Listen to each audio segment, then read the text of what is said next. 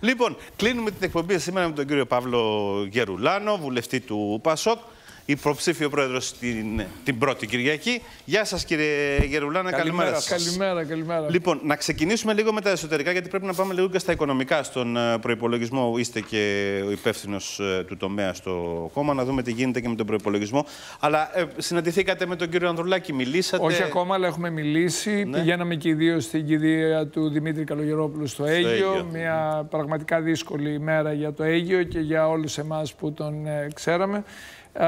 Εκεί βεβαίως δεν βρεθήκαμε, είχε πολύ κόσμο, αλλά είπαμε ότι θα βρεθούμε πολύ σύντομα. Θα βρεθείτε. Ε, Εσείς τώρα, ο κύριος Ανδρουλάκης είπε ότι έχω καταλάβει, ε, μίλησε για τα λάθη του, έκανε γενναία αυτοκριτική ο πρόεδρος του Πασόκ και είπε ότι θα αλλάξουν όλα. Υπάρχει το ρεπορτάζ που λέει ότι σε εσάς, ειδικά και στην κυρία Διαμαντοπούλου, θα προταθεί κάποιος συγκεκριμένος ρόλος έχετε κάτι υπόψη σας; Όχι, δεν έχω. Θα περιμένω να ακούσω και ε, εφόσον ε, αυτό θα συμβάλλει σε μια πορεία ε, νικηφόρα για το Πασόκ, θα είναι χαρά μου να το υπηρετήσω κιόλας, διότι θεωρώ ότι ξεκινάμε άμεσα τη δουλειά που έχουμε να κάνουμε στην αντιπολίτευση. Ήδη μπήκε το προσχέδιο του προϋπολογισμού, ήδη ξεκίνησαν οι συζητήσεις στη Βουλή.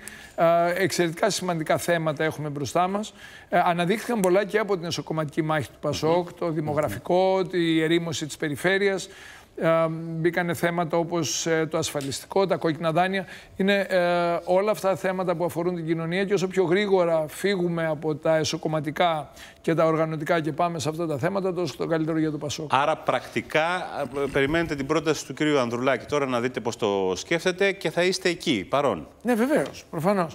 Ε, όμως, όπως λέω, η μάχη έχει ήδη ξεκινήσει ε, και το, ο προπολογισμό που έρχεται είναι ένας προπολογισμό ο οποίος δείχνει ότι η κυβέρνηση δεν παίρνει πραγματικά τα μηνύματα, δεν κάνει τις θεσμικές αλλαγές που χρειάζεται να κάνει, παραμένει στα επιδόματας, πάρε λίγο από εδώ, βάλε λίγο εκεί. Εμείς αυτό το αναδείξαμε και στις ε, ομιλίες του κ. Κουκουλόπουλου και στη δική μου για το πώς αυτός ο προϋπολογισμός δεν είναι αυτό το οποίο χρειάζεται σήμερα η ελληνική κοινωνία. Και πρέπει να σας πω ότι μάλλον ε, ε, κάποιο νεύρο πατήσαμε, διότι είχαμε αντιδράσεις και από, το, από δύο υπουργούς της κυβέρνησης που προσπαθούσαν να δικαιολογήσουν τα δικαιολόγητα. Ε, ας συνεχίσουμε έτσι. Πιστεύω ότι κάνει καλό για την κοινωνία και ό,τι κάνει καλό για την κοινωνία τώρα θα είναι καλό για το ΠΑΣΟΚ. Πιστεύετε ότι μετά την εσωκομματική μάχη το ΠΑΣΟΚ μπορεί να διεκδικήσει η κυβέρνηση; Ναι, ήταν κάτι το οποίο το είχα πει. Εγώ είχα πει ότι αν, δεν, ε, αν έβγαινα πρόεδρος και δεν οδηγούσα το ΠΑΣΟΚ σε νίκη, ε, την ίδια ώρα θα ξεκινούσε εσωκομματικές διαδικασίες. Και το είπα αυτό ε, όχι για να δραματοποιήσω την κατάσταση, αλλά διότι το, η μαγιά για να κερδίσουμε τις εκλογές είναι εκεί. Είναι όλοι εκείνοι οι άνθρωποι οι οποίοι έχουν απογοητευτεί από τον κύριο Μητσοτάκη. Είναι όλο αυτό το φάσμα από την αριστερά και το κέντρο και τους προοδευτικούς πολίτες μέχρι και τις παρυφές της δεξιάς. Είναι οι περίπου 3,5 εκατομμύρια Ελληνίδες και Έλληνες που είναι ε, σπίτι και απέχουν.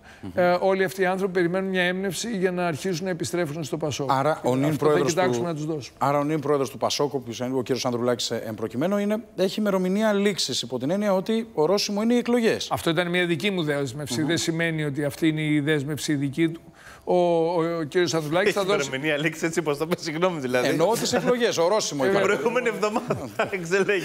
Εννοώ τις εκλογές. Την Κυριακή, τέσσερις μέρες. Τις εκλογές είτε σε δύο, είτε σε τρία, είτε σε όποτε γίνουν.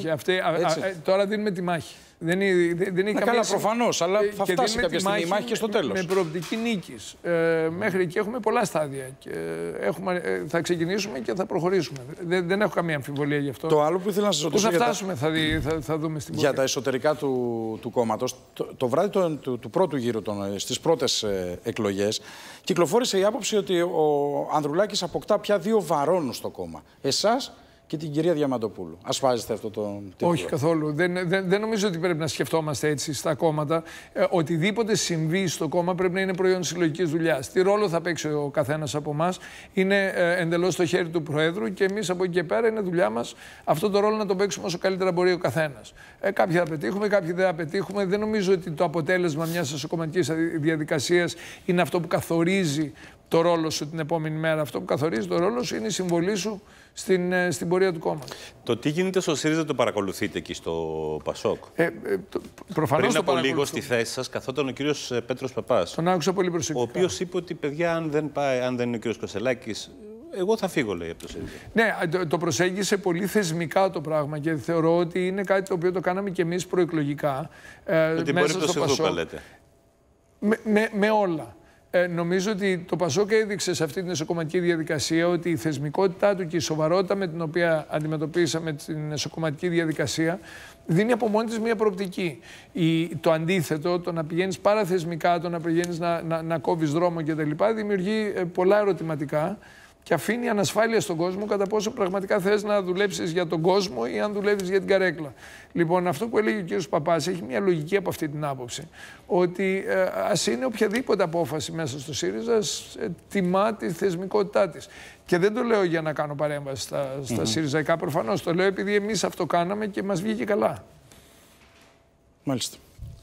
Λοιπόν, τώρα στον προπολογισμό, ποια είναι τα βασικά αγκάθια που θεωρείτε ότι θα πρέπει να παλέψετε; Η κυβέρνηση λέει ότι είναι ένας προπολογισμό ανάπτυξης και αυτός. Ε, ε, καμία σχέση. ο, προ, ο προπολογισμό αυτός ε, ουσιαστικά παρατείνει ένα μοντέλο ανάπτυξης το οποίο βασίζεται στην ε, κατανάλωση ουσιαστικά και στα επιδόματα και όχι σε πραγματικές θεσμικές αλλαγές που μπορεί να δώσουν όθηση στην ανάπτυξη. Η όθηση θα έρθει μόνο όταν αρχίσουμε να παράγουμε μέσα από τις πλουτοπαραγωγικές πηγές της χώρας που σημαίνει να δρανεί. Αλλά για να γίνει αυτό, θες άλλη διάρθρωση της χώρας. Λοιπόν, τώρα είναι η ώρα για πολύ μεγάλες μεταρρυθμίσεις. Δεν βλέπουμε κάτι τέτοιο στον προπολογισμό. Βλέπουμε το business as usual.